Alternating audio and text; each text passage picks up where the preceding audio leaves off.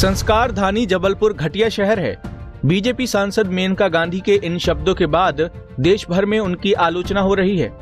Veterinary doctor विरोध कर रहे हैं तो अब जबलपुर की जनता और कांग्रेस नेता भी प्रखर विरोध में आ गए हैं। बीजेपी सांसद व पूर्व केंद्रीय मंत्री मेनका गांधी ने वेटनरी डॉक्टर से बातचीत करते वक्त न केवल डॉक्टर से बदसलूकी की, बल्कि जबलपुर के इतिहास पर भी सवाल खड़े कर दिए। ऐसे में अब कांग्रेसी नेता बीजेपी नेताओं से सवाल करने लगे हैं। कि मेनका गांधी पर चुप्पी क्यों?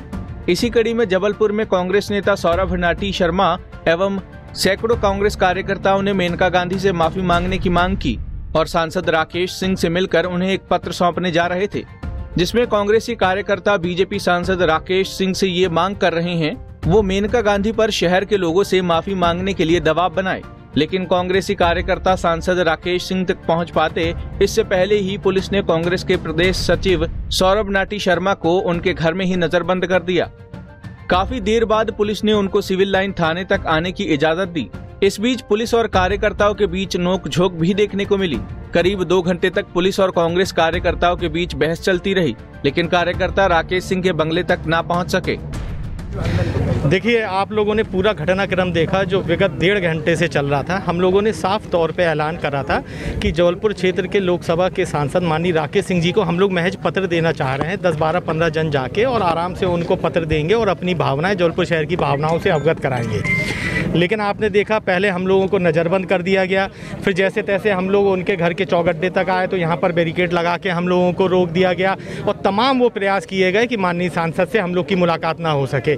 राकेश सिंह जी ना केवल भारतीय जनता पार्टी के सांसद हैं, वे शहर के सांसद हैं, वे हमारे वोटों के भी सांसद हैं। और जबलपुर के जैसे गंभीर मुद्दे पर हम उनसे चर्चा करने जा रहे थे, उन्हीं की एक पार्टी की सांसद जबलपुर शहर को घटिया बोलती है, उन्हीं की पार्टी की एक सांसद माली वर्ग को अपमानित करती है, उन्हीं की पार्टी की एक सांसद चौकीदार वर्ग को अपमानित करती है।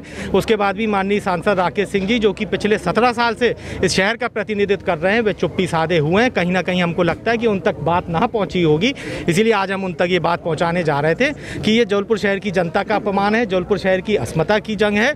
आप अपने जो पार्टी की सांसद महोदय है, उनसे बात करें कि वे अपने द्वारा कहे गए शब्दों को वापस ले, वे इस शहर से माफ़ी मांगे। नहीं तो भविष्य में जब भी कभी जबलपुर का नौजवान जबलपुर छोड़ के नौकरी करने जाएगा, पढ़ने जाएगा तो उसको ये बोला जाएगा कि तुम जबलपुर जैसे घटिया शहर से हो।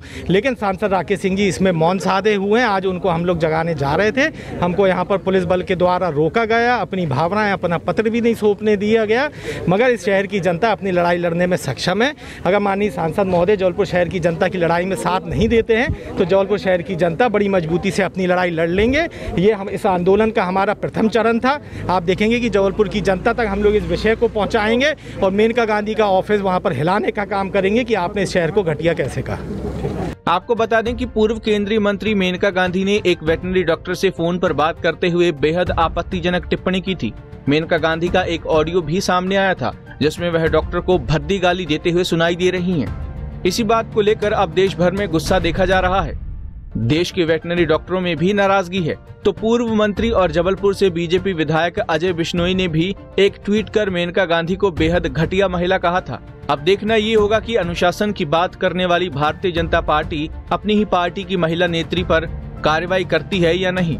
पंजाब केसरी के लिए जबलपुर से विवेक तिवारी की रिपोर्ट।